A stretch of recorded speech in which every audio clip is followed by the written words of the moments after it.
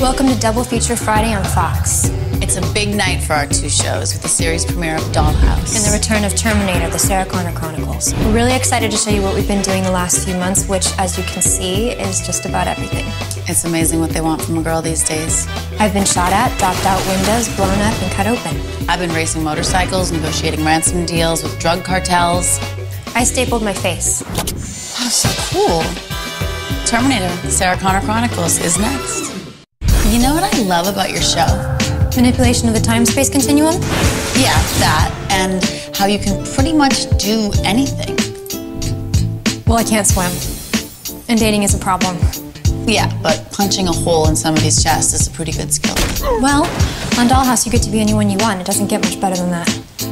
There are benefits to being the ultimate female genius, detective, lover, killer, sex object. I'm gonna tune in, if nothing else, for the outfits. Up next, Dollhouse, which looks more like an amazing spa than a house. And we're not actually dolls, we're actives, real people who can be imprinted with any personality, skill, or attitude. Programmed. And then reprogrammed. The girls have to look good, be good, and save the world. Someone's gotta do it. Mm. So there you have it, the new Fox Friday. Where else are you gonna find a couple of girls like us? Who can be everything you want, smart and stylish. But strong enough to throw a car.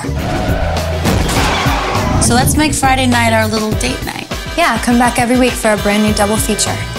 See you next week.